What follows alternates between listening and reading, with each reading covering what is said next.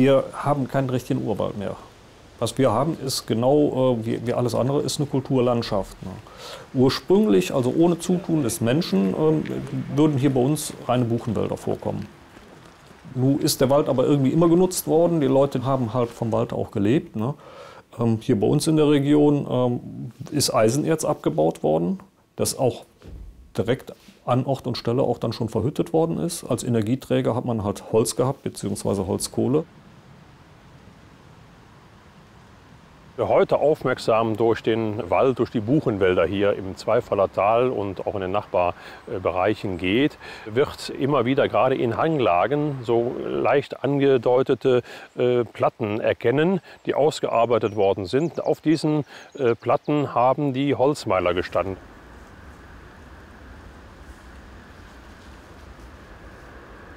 Früher war es eben halt der einzige Rohstoff, der für die Energiegewinnung zur Verfügung stand im 18. Jahrhundert.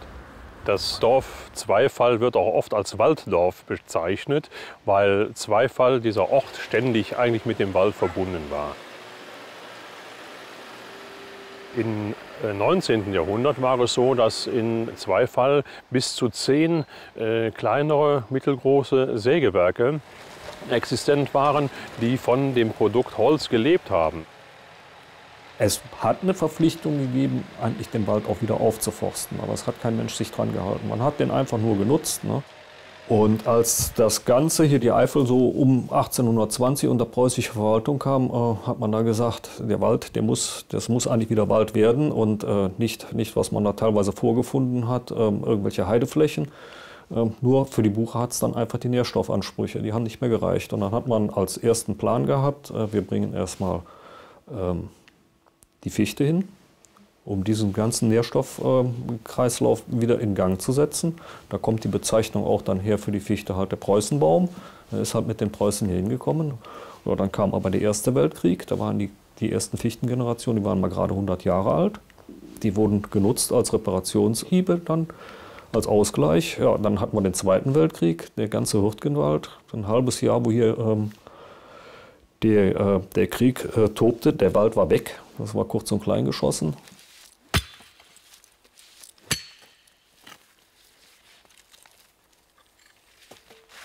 Fichtensaatgut stand da zur Verfügung.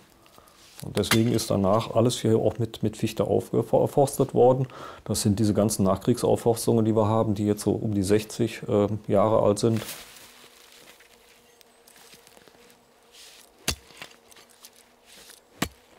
Es wird vom Klimawandel geredet. Der wird auch stattfinden, aber in welcher Form? Das sind alles, alles im Moment Modellrechnungen. Man kann versuchen, das ungefähr abzuschätzen, aber feststeht, die, die Fichte wird Probleme kriegen. Und dann denke ich, ist es dann schon richtig, wenn man hingeht, das Risiko einfach streut, möglichst viele Baumarten haben, ungleichaltrigen, mehrschichtigen Mischwald. So mit dem Einsatz, da steckt alles drin. Der Wildverbiss der findet meistens an den Baumarten statt, die am, am seltensten vorkommen. Fichte kommt hier äh, sehr häufig vor, gut Buche auch, die werden relativ wenig verbissen, aber die ganzen Mischbaumarten halt extrem.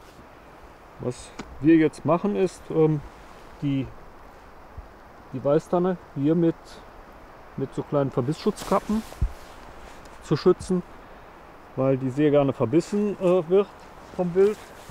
Und das kann man hier sehr schön sehen. Die sieht dann im Endeffekt so aus. Die Weißtanne ist hier, wenn man sich den Stamm anguckt, irgendwo zwischen 5 und 10 Jahren alt. Und die ist nicht höher wie die hier, die jetzt mal knapp vier Jahre ist. Das ist ein, ein Grund, warum wir auch entsprechend jagen, damit wir gerade unsere ganzen Mischbaumarten ähm, hier durchbekommen. Da wir wild nicht zählen können im Wald, haben wir Weisergatter gebaut. Einmal ein Weisergatter und daneben haben wir eine Nullfläche.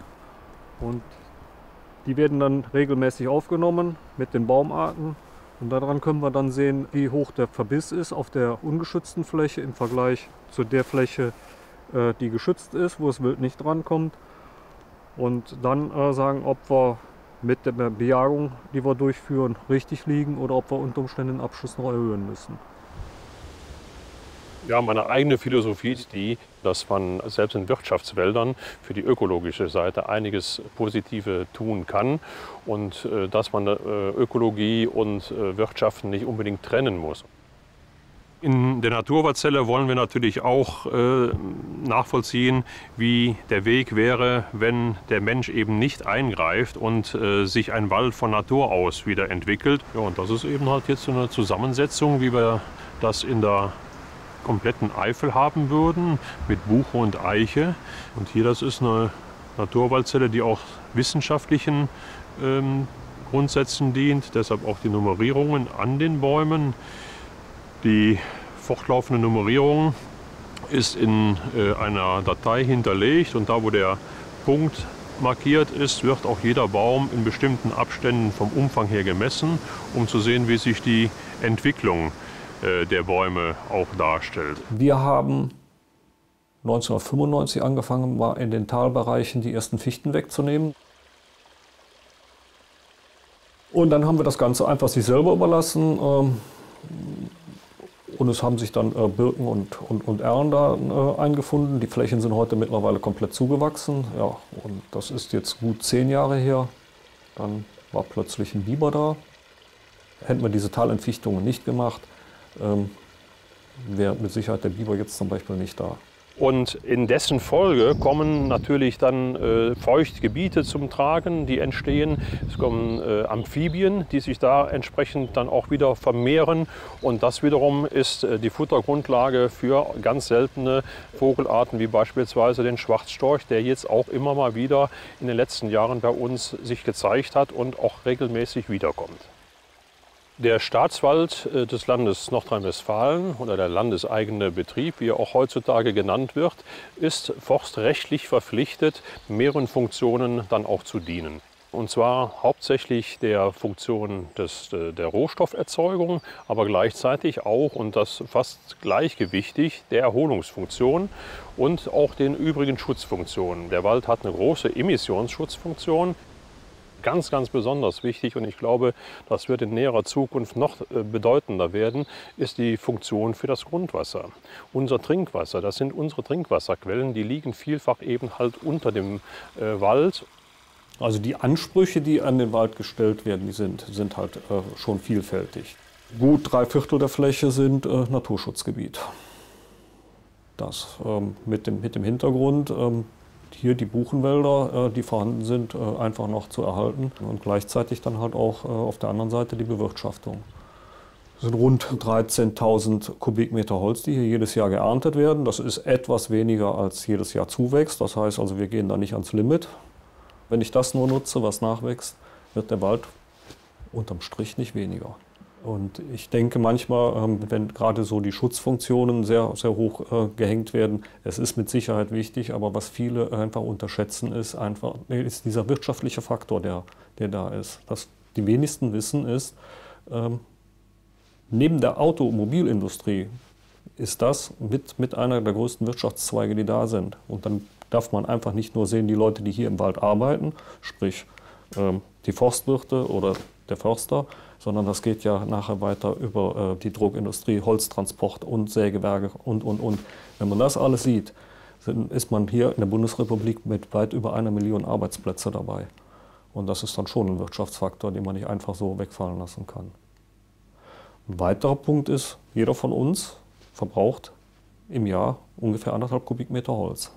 Und ein Kollege von mir hat das mal, mal etwas krass gesagt. Ähm, ohne den Wald können wir uns morgens nicht mal den Hintern abwischen. Und da hat er irgendwo recht. Das Holz, was hier im Staatswald eingeschlagen wird, äh, ist in einer Größenordnung von ca. 60.000 bis 70.000 Kubikmeter im Jahr äh, zu sehen. Und das äh, sind zu drei Viertel des Holzes sind das Nadelhölzer und der Rest das sind Laubhölzer. Und gerade die Nadelhölzer sind auch hier regional äh, von Bedeutung, weil es äh, hier Sägewerke gibt, die diese Hölzer als Langhölzer nutzen.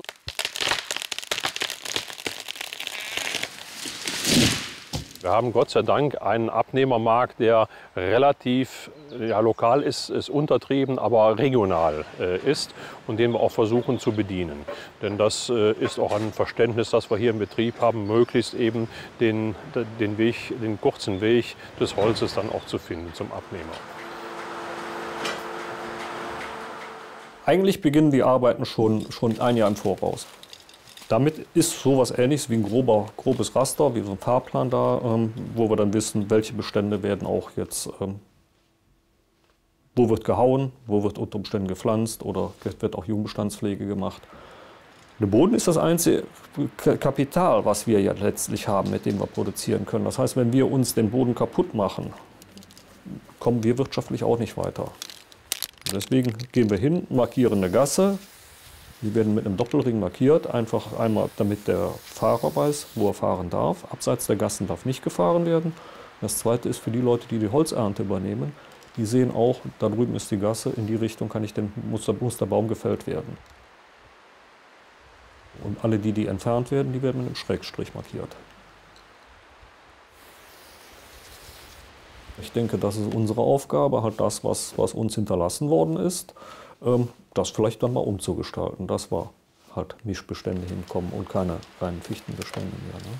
Hier wird Geld verdient, aber auf der anderen Seite wird dieses Geld ja auch wieder investiert in, in den Betrieb ne? und, und dann im Endeffekt ja für uns alle. Das ist ein Wald, der gehört uns allen. Ja.